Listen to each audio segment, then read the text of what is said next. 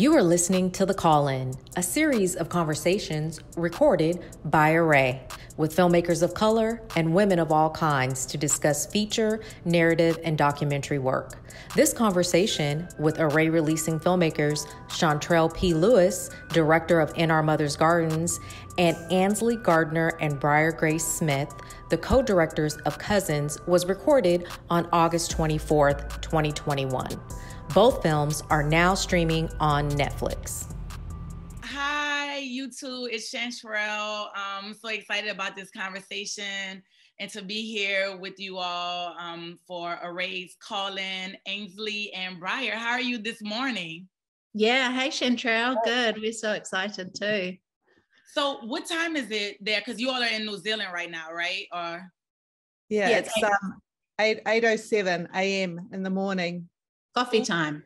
Y'all mm. are better than me because I don't know if I could be talking to anybody with a smile on my face, coffee or not, at eight o'clock in the morning. So, thank y'all for joining us or joining me to be in this conversation. I've been like anxiously awaiting um, to have this convo with you. I remember it was only a few months ago that I had my own uh, call in, and so to be on the other side uh, is and to welcome in another uh, set of filmmakers in, into the Array family is like pretty exciting. And your film, can I start off by like congratulating you all? It's incredible. I loved it.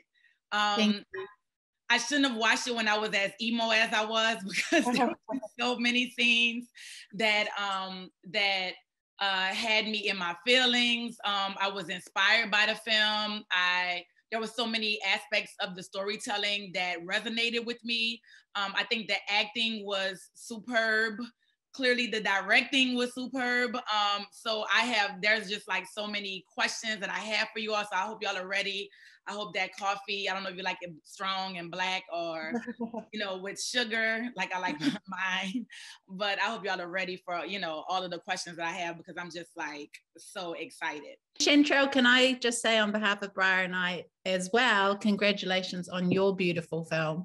So um, back at you with all of that. It was beautiful to watch. And also, I guess this the same with cousins is to feel like such a, a resonance for your your um, stories and our stories and the similarities and the stuff that's going on. So yeah, congratulations to you too.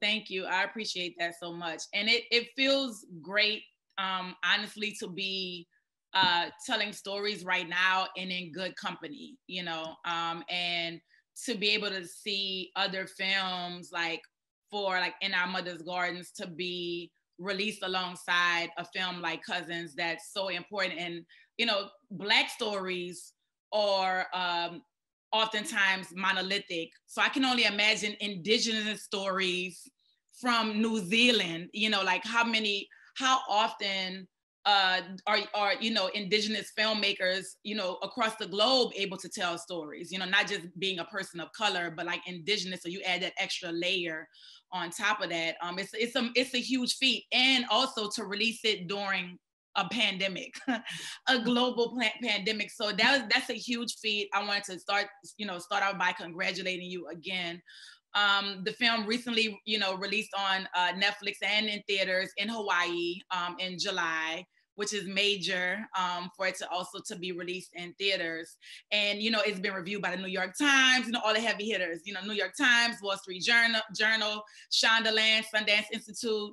Um, so how how has it felt like you work on something and then you release it? Like how does it like how does it feel just even having it out in the world? Well, I mean, th- that's weird, isn't it? Because I feel like Briar and I are parents, and Cousins is now sort of like a teenager who's left home.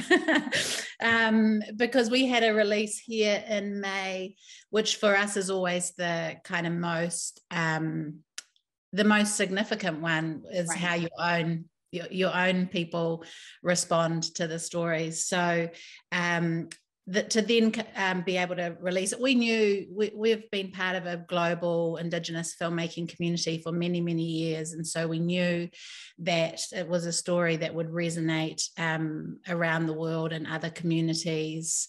Uh, and so we were just really looking forward to being able to, to share it with those communities. Um, and Array gave us the opportunity to do that. So it's really exciting. It's so sad that we haven't been able to be there. We were able to go to Australia and share it with Aboriginal communities, which was amazing, and also a lot of expat expat um, Pat New Zealanders, New Zealand Maori live in Australia, so we got to share it in that shared space, which is so important with storytelling and filmmaking. Yeah. So it's a little bit bittersweet because there are so many um, of our friends and family and communities around the world who we would have loved to have been there uh, with, but the response has been fantastic.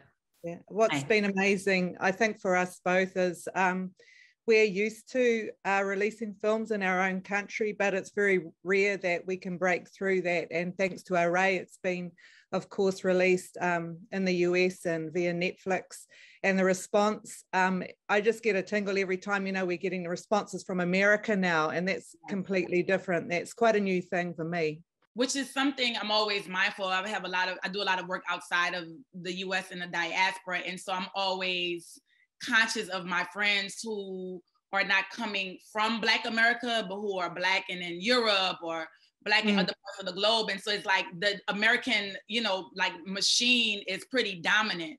Um, mm. So it is, while it is also frustrating for people outside of the States, but when you can have your stories amplified, you know, like by the machine that is like, you know, mass media in the States and, you know, a, a global streaming service like Netflix, that's huge, you know, mm-hmm. and, mm-hmm. and telling a story that otherwise like, you know, a black woman from New Orleans, I might not, you know, uh, uh, come across or my my neighbors in Philadelphia in East Germantown, Philadelphia. And so I think um Array is uh, I'm grateful for Array, you know, just even for amplifying my my you know little story that is universal, and that, and that's the thing. I think that you, when you're a filmmaker um, of color, then it's almost like there's so much pressure and so much weight to like get your story right because so many other people don't have the chances particularly for their stories to get told on a much you know wider level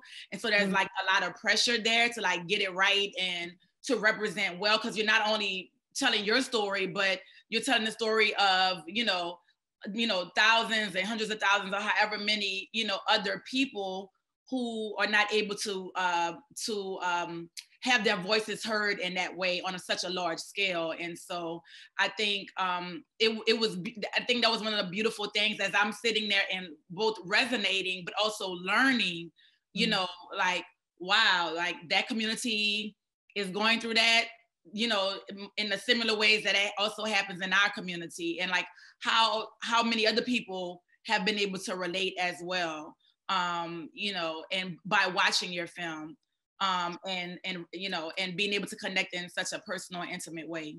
Yeah and i think that i think that um, black voices voices of color indigenous voices so many of our historical experiences are so similar. You know, we share a lot of trauma, and we also have these um, kind of narratives of the the kind of strength and power of our our women and our mothers. And I think that it is it's about sharing film, but I think also one of the important things is that this is the way that we get to connect with each other at a personal level. And I think that we're so much more powerful the bigger our collective grows. This collective of filmmakers who are supporting each other and you know finding spaces for our voices to be heard and seen and that sort of thing. So it's that other layer of our films being uh, seen and heard but also that opportunity for us to connect with one another and kind of to just become globally you know more and more powerful ready for takeover.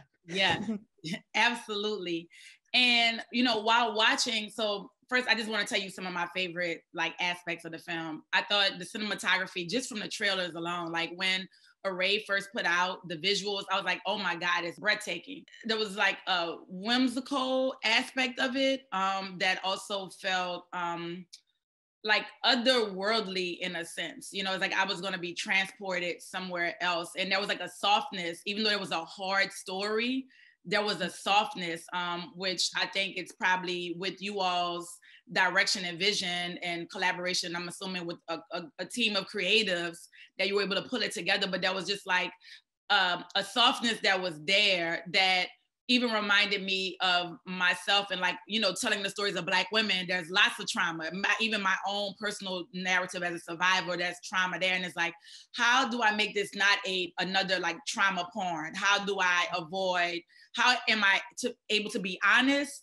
but i can avoid trauma porn and re not only just because we have the responsibility to educate others right? Mm-hmm. um, to make our voices heard but then we're also being responsible for handling with care our stories and the stories of our people. And it's how do we do that without re traumatizing ourselves every time we put our stories on film, you know? and for people to consume it in a in a large way. And so that was one of the things that I, I think really touched me. I also was really um I mean immediately like the characters like Missy, I was Missy um, mm-hmm. definitely growing up like the spunky one that was always at my grandmother's house. And I remember I had other cousins who were like, I call them white socialized because they weren't spending too much as time with our family. And it's like they would come and they would call and it's like, oh, is grandmother Gladys there? And it's like code switching voice. And I'm like, who y'all talking about grandma? Hold on, let me get her, right? And so, you know, I was able to relate to that. And also um, I haven't publicly spoken about this, but I had a little cousin whose mom was married to one of my uncles. Um, and it was like a, you know, not a great marriage. And she left.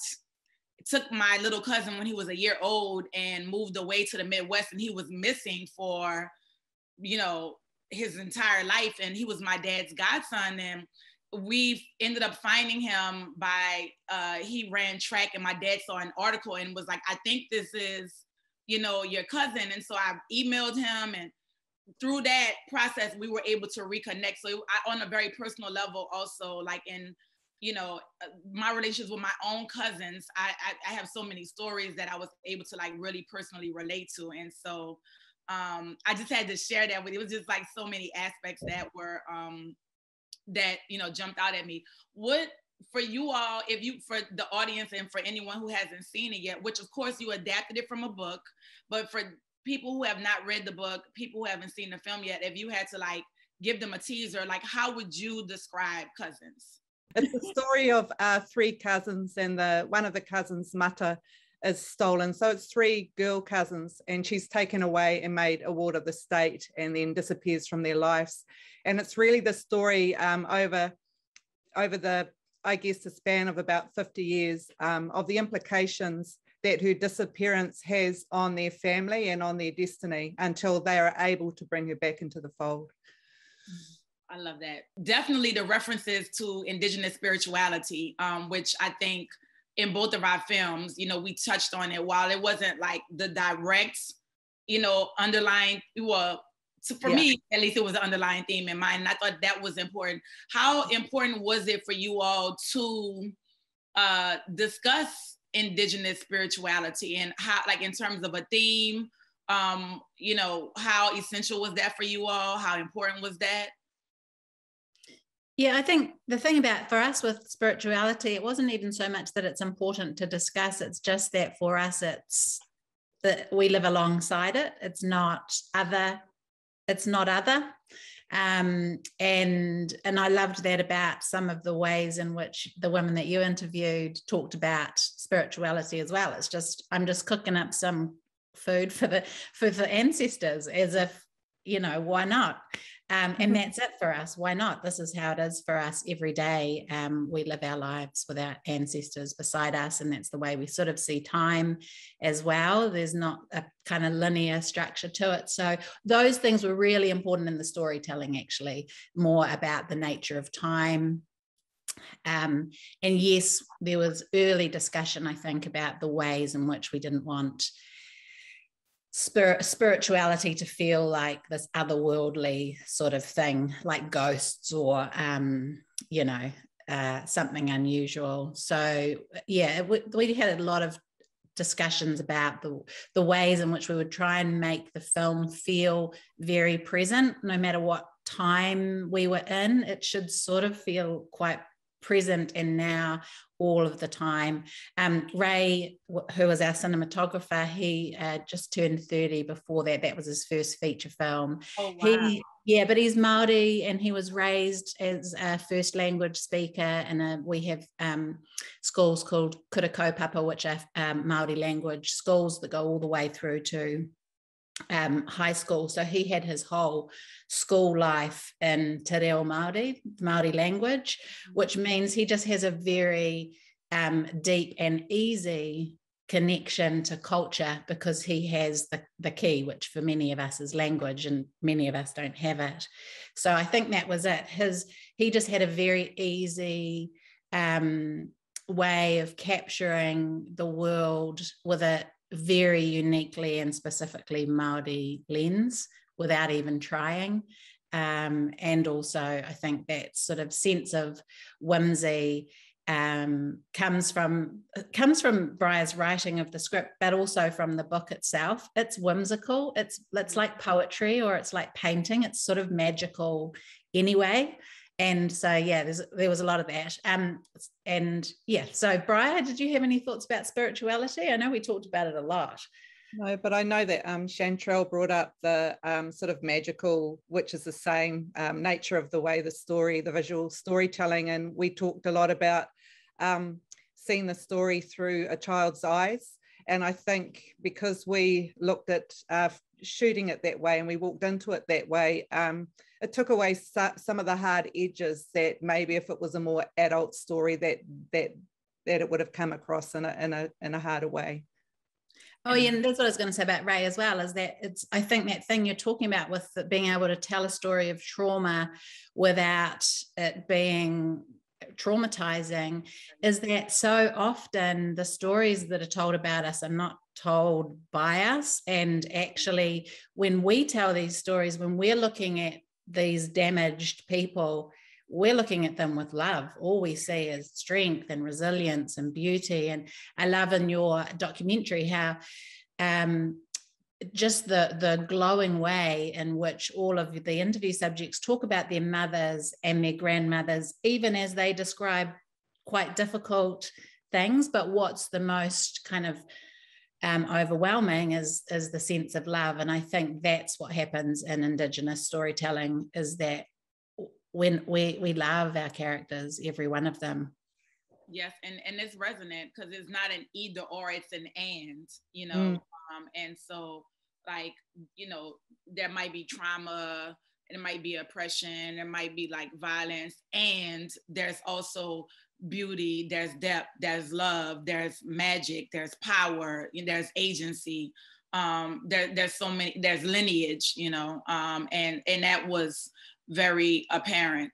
Um, to that point, I was very curious as like an avid reader, um, how because I haven't had the book read, you know, read the book, but definitely it's um it's added to my list now. Um, but how challenging was it? Um, I have two separate questions. How challenging was it to adapt a book that was well received? Um, have you heard any response from any like you know true fans of the book, like in terms of, oh my God, this was spot on, or this is a beautiful adaptation, or oh, remember that one part? You know, you should have done it like this. So I'm curious about that because that's a huge, you know, um, task when people are adapting books. And the other question I have is also for Briar is like co-directing you know, and and and and also acting in the film. And I didn't have to act; I just had to talk, which is for me mm-hmm. easy. I have zero problems with being on the mic. Um, I used to rap when I was I was a little hip hop and in growing up. So I don't have those, you know, but so I, I can imagine both co-directing and acting. And one of my best friends, Numa Perrier, whose film was also released by Array last year, Jezebel, she also directed the film, was telling a personal story of her her own life and she starred in the film as well. So those are the two questions, like adapting the book um, for the screen, and then also in a response to that, and then also um, you know, both co-directing and and and you know, starring in the film. Hmm.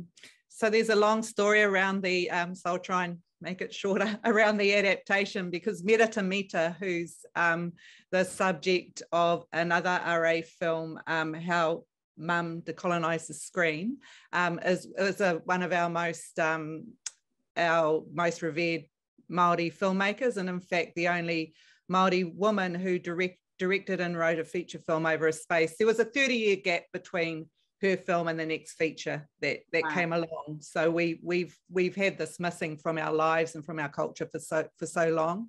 So she had tried for about 20 years with the author Patricia Grace to adapt the story, and um, due to the way things were at that time, um, it never happened. It wasn't. Um, uh, wasn't thought that a story about um, essentially Maori woman would do well. Mm. also, the funders thought the protagonist was too passive, um, that there wasn't enough drama, etc., etc., in the story. So it never it never came to light. But the novelist was my um, mother-in-law. Um, I've separated from her son. Okay. But so over that time, I sort of sat with her and um, Merata, listening to some of the problems they had in the adaptation. So I never read their scripts, but uh, what one thing I did understand that the book is very, very epic. There are many more characters and stories than there are in the film. Um, so the first thing I did, I think I read the book three times and I was quite hard mm. on my interpretation. So the first thing I did was um, I was quite ruthless in taking out um, characters and events that weren't adding to kind of a narrative spine as such mm-hmm. and truncating things and bringing them together. So I had kind of a already had a heads up. So it was a, a bit of an easier journey for me. And also there was this like trickle down effect. It wasn't a hard screenplay to write. Okay. It's been the easiest one I've I've tackled. So that was good. But the response, so I sort of felt like I understood it enough also to kind of be that I could hold on to the spirit of it and be a bit free with it. And I think that's important. Um, we've had actually no one, people really ever comment on um, the how they feel the book versus versus the screenplay. So we haven't had much feedback, have we, Angs? It just makes me laugh because the whole way through, Briar and I are like, you know, you try and stay off social media and you're always afraid people are going to say it's crap. But, you know, we had just such overwhelmingly positive responses. I kept saying to Briar, man, Briar, we haven't had any negative right. feedback. And then when it went to Australia, I did see one comment was, um, uh, I didn't enjoy it that much. The book was way better. And somebody else said, Yeah, the book's way better. And I sort of felt relieved. I was like, Oh, phew, finally. finally. no, because, and I think because I think that's right. You captured the spirit of the novel, and we worked closely with Patricia. Um, Patricia and Briar are still dear, dear friends, and you know, and so she fed into it. And you know, I think the thing with um, with films or stories that have a long history within themselves is they're just doing their own thing. We're just along for the ride. They're yeah. doing, they already know where they're going. And um, and I think you know it's easy for me to romanticize how easy the writing was because I wasn't doing it. But it did, as Briar said, it did feel like quite a um, a smooth process the whole way through. And I think that's because Briar and I always acknowledged that ours were just uh, two of the pairs of hands that were ushering this film where it needed to go. Um, and we had such um, kind of support from those that had gone before us um, spiritually and practically. And, you know, so it, I think when you read the book, and I had read it many, many years before, um, there it's it is like poetry. And it's so dense with imagery that there are things that you remember. The thing i always remembered was the marble you know and i think that briar captured the the pieces um, that for most readers are the things that would have stuck in their mind the most. So in that mm. way i think it would have been really satisfying for most of the book readers.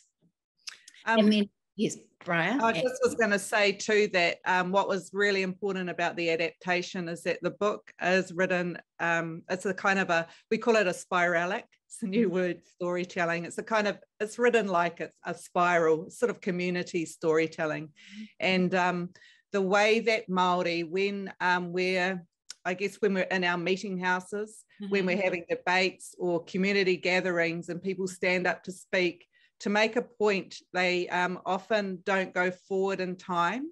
They they they they speak about the point they want to make. They stand in the present, but to make the their point heard, they're always referring to the past. Mm. And so it's like a gathering of things you know mm. and in the end you you get it and um, the book of cousins is told in the same way it leaps around from past to present to further back and um, so it was really important for us um, to hold on to that particular way of telling a story and many several times we had feedback um, from people to make the story linear because yeah. they weren't because they weren't used to that way of storytelling is Eurocentric. Yeah.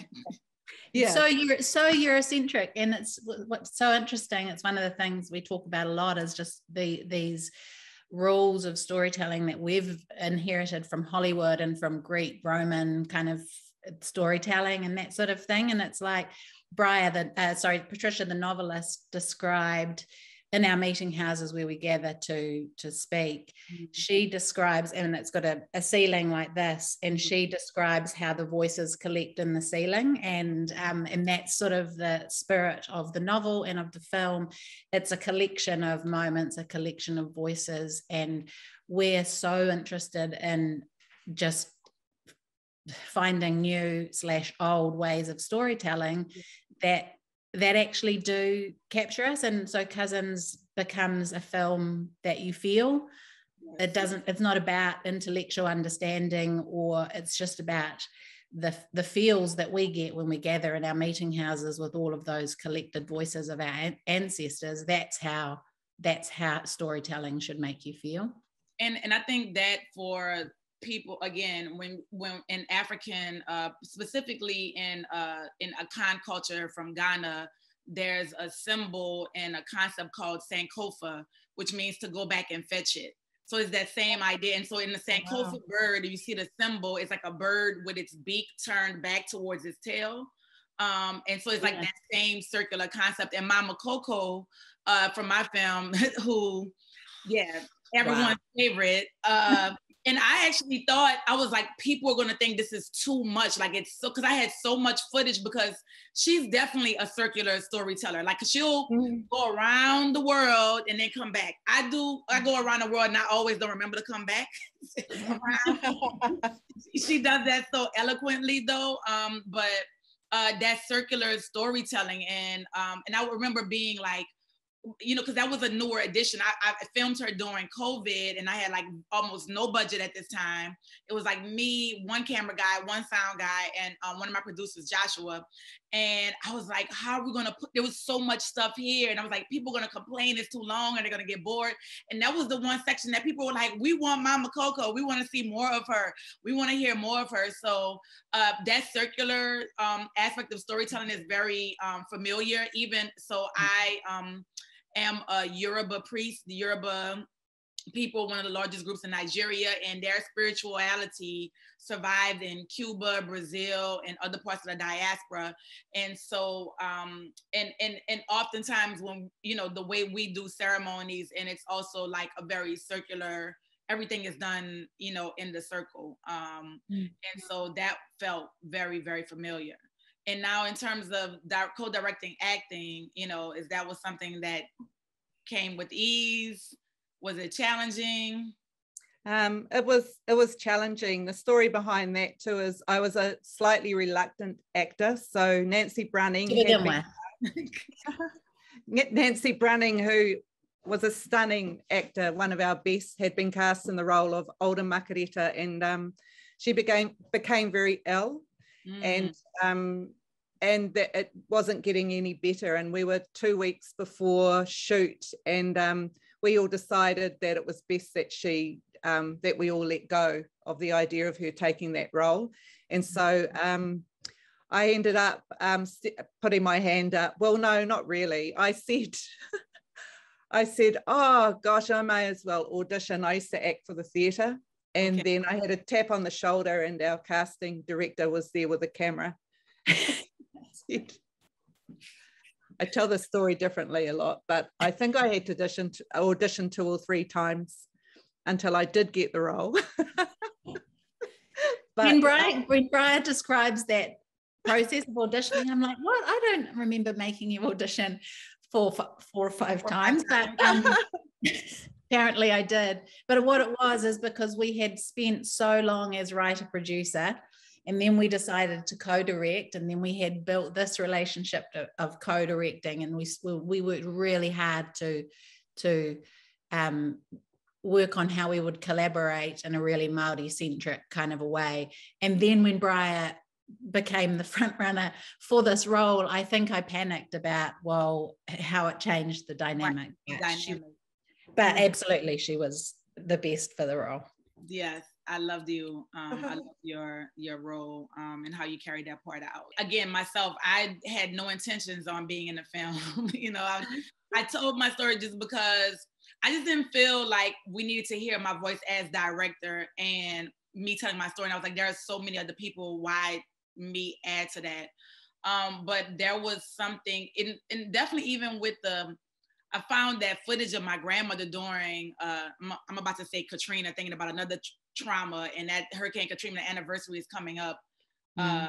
Uh, um, oh, this weekend. So I'm like, what I meant the pandemic, but I found this, uh, all of this footage that I didn't even know existed of my grandmother um, and me, you know, like all of the, like this video footage that I had been recording when I was in high school and college. And I'm like, oh my God, it was like hearing my grandmother's voice for the first time. And uh, she passed away in 2007. So I just feel like it was meant you know, because it was all of that beat and I didn't have all this extra B-roll. And so it was, it was all of these gaps were able to be filled. And so I was just, I said she helped to co-direct Beyond the Grave. Like it was like me and my grandmother. So um, speaking of challenges, like what challenges did you to face during production, you know, besides this actor who you, you know, this actress who you had was ideal for the role and then not being able to play? Were there any other, you know, significant challenges?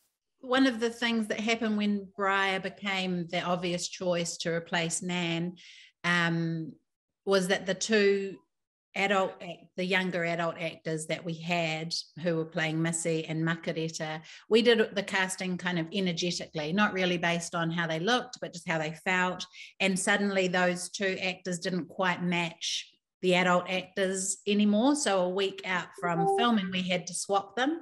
Um, and so that was challenging for them because they had absolutely um, fallen in love with their own characters and then they had to swap costumes which was hilarious because one of them is glamorously dressed and one of them is dressed in you know huckery trousers with a rope belt so um so they had to swap that was that was an emotional challenge but it ended up being a really really good choice I feel like some of our early challenges were just working out how to work together. You know, we talked about, um, I've produced for co directors, and often it becomes about who's the loudest person in the room.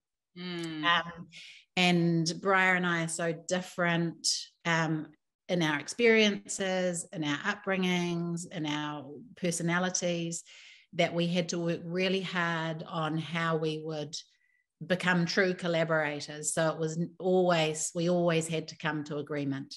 Um, and we wouldn't go, we wouldn't go any further until we did. And I, I thought there was also one of the things I'm most proud of as well, because, you know, as creative people, we all have our own egos and our own sensibilities that you want to protect. And, but I think it's part of what I was saying about trying to unpick the Hollywood process and, and try and rediscover our own natural process. So that true collaboration was an early challenge but once we kind of worked it out it, it was one of the best things i think about the the shoot. Yeah I would um, support Ainsley in that that the co- collaboration actually strengthened um, the filmmaking and the process rather than diluted it. Mm-hmm. You know, mm-hmm. and it's that it is that thing of leaving your ego at the door and coming to each other with an idea and either realizing that the other one has a stronger idea because you're sharing a vision or putting things together and creating something um, something a little bit new but um, that was definitely one of the things i'm most proud of too Were there any other challenges, Briar? I always get stuck at this because I again romanticize it all so much. I'm like, because yeah, I think sailing. I think the challenges are the things that um, you kind of they weren't necessarily bad things. So uh, there's a there's a betrothal scene. We call it a tomo, where um, uh, and w- which was a, a, tradition and still in some ways is a tradition of ours. Um, that for that that that for us was kind of a ch- challenge because we haven't had that experience in our life, so we didn't know how it looked, what the process was, and with the the tribal group we worked with, the iwi. Um, they had um, they didn't have really a strong recollection either but hmm. in their lives it existed but it was this thing that no one had a, a, a really firm idea of and so we um, worked together with with the Ngāti Pikiao, the iwi, to create our own our own version of it. And that, that again was a lovely collaboration and we came up with something that we were we were pleased with. That's great. And yeah, I think working with the kids was always really tiring. But one of the things I found with the kids is not so much the kids, it's the adults. Adults are so impatient, yeah. uh, myself included. Being a mother, I can recognize that. But but it was I, I there was one day I left set, and it was sort of we tried to flood our crew with women and with Maori women and with Maori men, mm-hmm. but there was still a um, such a there's such a powerful masculinity in the film industry in its processes and in its kind of sensibility. That's so hard to to to completely um, dismantle in one go but i did find that that was often overpowering and particularly when working with the kids the way some of the adult men would behave mm. just wore me down quite a bit. And I did have to leave set one day, like a like a little diva. I was like, Briar, I have to go. And that was the great thing about having two directors as well, because Briar just stepped in and um and took over while I went and had a little, you know, tanty. mildly, I'm sure. Um trust me. I mean, I was doing posts during the pandemic while my husband, my two bonus kids, were they were virtually going to school. One was in college, one was in high school, and so they heard lots of conversations that you know I had to apologize for later. there were plenty of stressful moments, and there was nowhere for me to go. it's like I, it was all in the house. Um, in, in terms of distribution, how did you all choose Array? How did you come to Array? Um, yeah, like how how did that that bit of magic happen? We already had family in the Array family. So Cliff Curtis, who's a New Zealand actor, Chelsea Winstanley, a New Zealand producer, and Hepi Mita, um, who's a um, New Zealand filmmaker. His mother is Merata, and he had um, directed this documentary about her that Briar had spoken of. And so that was already um, what part of the um, array. They were already part of the array family. So in a way it was it felt like a natural fit. We reached out to them our film commission in new zealand um, but also i think cliff may have made contact with Tilane mm-hmm. um, just to introduce us. And i don't know just there was no option really once we had talked to Tilane. And i mean I don't want to fangirl too much, but if Ava DuVernay wants you and her family, who are you to who are you to disagree in a way? Um, but I think it was that. I think, you know, for we call it whakapapa, which is genealogy, or it sort of it talks about the layers of earth. Um, and so to already have a whakapapa to um, to array stuff like that's really important. And also we knew that the communities that she would be able to reach were the communities we wanted to reach. You know we weren't interested in in getting a mainstream i mean you know of course but mainstream eyes on the film as much as we were um, in getting uh, communities of color, Indigenous communities, to see our film. So it was really, again, like everything with this film, sort of it, everything had a simplicity and ease to it, and that was the easiest choice to make, eh, Briar?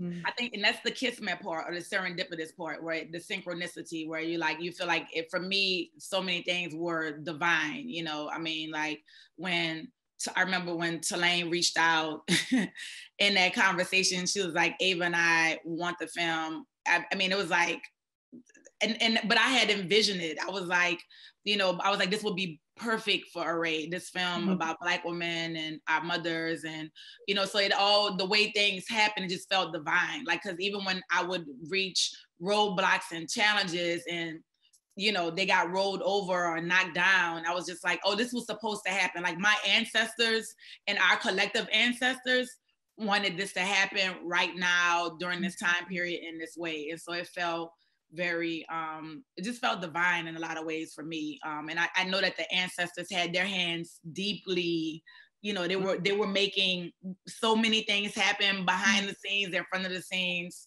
um where it all felt right why do you think securing uh distribution for um independent films you know you know why is it so important? You know do you think there are enough outlets for films like you know in our mother's gardens and cousins?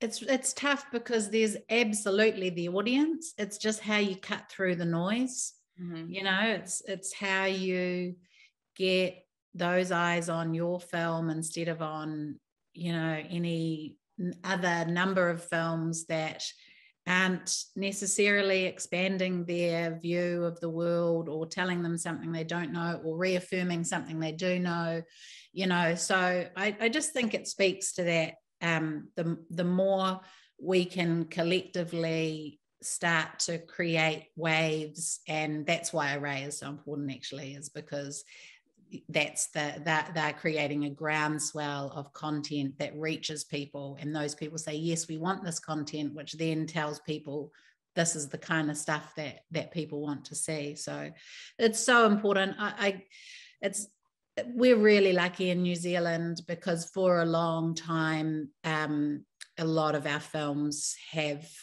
maybe for the last 30, 30 odd years, New Zealand film has has had a value in the um, in the industry. So we've got a little bit of that going on, but it's relatively new, as I think Briar said earlier, for for Indigenous film um, by Indigenous filmmakers to have that same kind of um, yeah that same kind of connection in the in the wider world so I, I don't know i just I, I just kind of imagine in my mind i just imagine this. I, I see us sort of i just watched black panther again. I feel like with this kind of wakanda um, the sense of us all just stepping forward together with our numbers gathering and you know and creating something powerful um, and in a way i see what's happening here behind the camera with us as filmmakers and the films we're making almost that being more important than who we're reaching because we only need to reach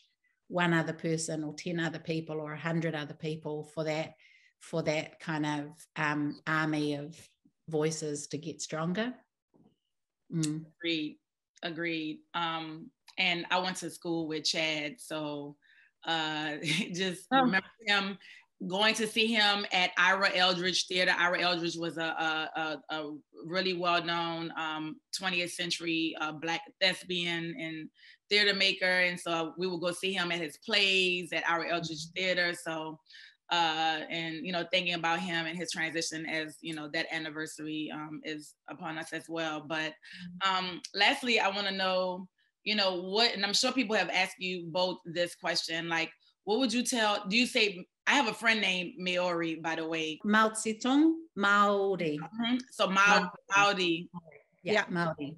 Um, like, what would you say to a Maori, uh, a young, you know, storyteller and filmmaker um, who are, is listening to this conversation about what's possible?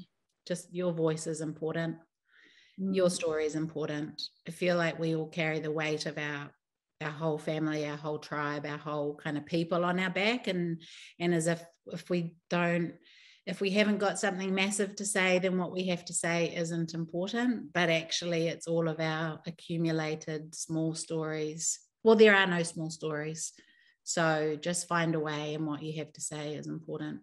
Mm. And mm. find mm. your community. I've I I know as um, a filmmaker, I think it's been really um, it's been a real journey finding the right people to work with who will support and share the vision and elevate the work without trying to to change it too much or turn it into something else.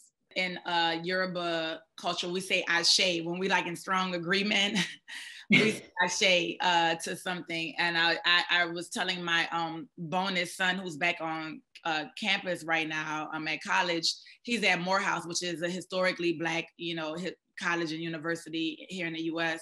So all these, you know, black men. And I'm like, if you leave without uh, developing a network of friends and people, then I feel like you failed.